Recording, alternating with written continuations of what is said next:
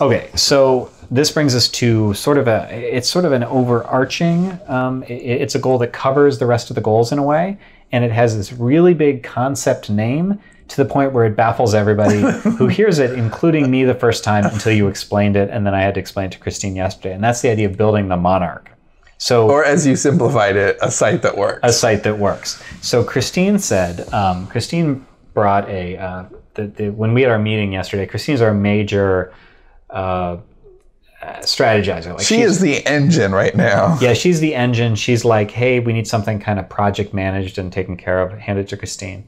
And so she printed out the avalanche slides and brought them to the meeting. And she's the only one I'm a little unsure on is the monarch. And I said, would I suggest? I would suggest that you ignore that. I said because yes, we're going to kind of need to make. Well, I don't really understand what it is. I don't really get it. And I said, okay, just I'm guaranteeing you're overcomplicating it because so did I. Because with a name like the Monarch, and Sean, by the way, just to clear this up, like I'm talking to you now. So the um, the initial slide was like it wasn't even just like build the Monarch. It was like showing all these lines and you everybody just like making notes. Like I'm just like, guys, it's just a fucking website that actually makes sense. Like that's all it is. But Yes, been- Seth gets the monarch because it's that's what it, its basic platform. connect all the things. Yeah. yeah. But I But think we don't have anything like that. So No. it, it it's an initiative, and initiatives need names. Like it needs right. But but you're right. It is just harmonized. Yeah. Right. So I'm actually right now getting a flurry. I don't know if you're still on these of um, RealmAndSands.com spam comments. oh, I'm not. Thank God. All of a sudden, we're getting like, um, "Make your dick bigger." Like, okay, thanks. Is that a comment on our is you know is Revenge Ever Justified post? How about some free Cialis? Good point.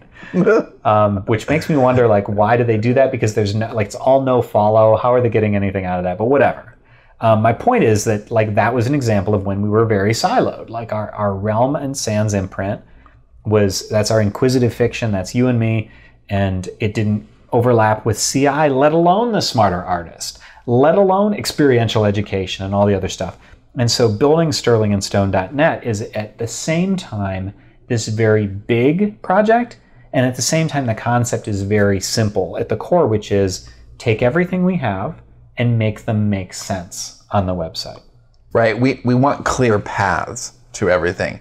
That means internal content and that means external content.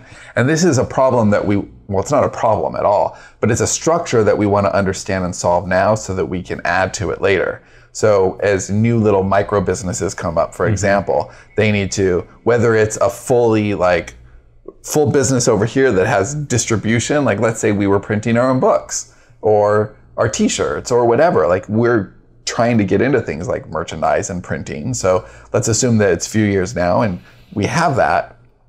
Then we want to be able to send people to that. If Story Jackets became its own thing, we would want that traffic to go both ways. We would want people to be able to find Story Jacket and then be led into, um, you know, our sphere of influence and become a smart artist. Or maybe they're using Story Shop. Like that's a big thing that we talked about. How do we get the potential 100,000 people that are using Story Shop to become smarter artists, you know, one at a time. We need to build those paths and those mechanisms. So if we've got sterlingandstone.net, we've got Story Shop, we've got, you know, um, all of our podcasts, all of the network, we've got guest posts and stuff we're doing. We've got Facebook, Twitter, YouTube, um, you know, Instagram, all the things that haven't been invented yet, right? Um, all these standalone apps, right? Like if we build a standalone app that's also a Story Shop module, it needs to link to Story Shop, it needs to link back to Sterling and Stone. So we just needed to figure out a way to make like all of our book pages and everything is just understood. And it's not even all on site. Like some of this is going to be done via email autoresponders, Yep. which are based on certain actions.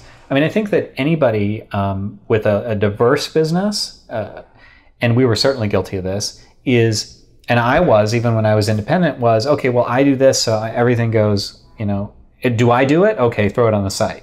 And if you do that, then somebody goes and it's like that jam study thing where like Yeah. you know the jam study if you, if you don't know this one is is like I don't remember the numbers but they had like I don't know 10 jams and people could choose between no, it was over 30. It was over 30. People were just like, no. right and then they narrowed it down to like what 5 Yeah, I Something think like that. three. I think three was the sweet spot. And then like, and then the the sheer number of units of jam sold was way more with 3, Three. than with 30 exponentially. Like Right. it was crazy. And you'd think having more, like actually, they do this in in restaurants, like when Ram- Gordon Ramsay does Kitchen Nightmares. Right. Fewer items on the on Right, the- on the because they have like, and, and these these restaurants are all proud of like, we have 32 pages on the menu, and he comes in, he's like, you have 32 pages on the menu? Are you crazy? do the accent. Down. but you know, like he'll change it to a, a single sheet. Right.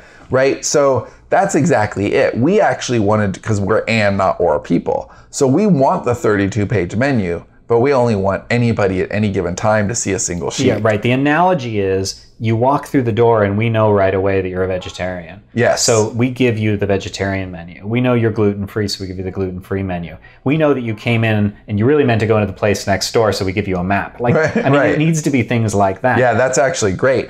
And and that's actually the point here because you can actually see how integrated all of these goals are, right? So we talked really early about all the ways that we're trying to scale fiction and how and blow up our brand, right? So those first two goals are very dependent on how we attract people and then how we message them once they, you know, uh, become part of our sphere.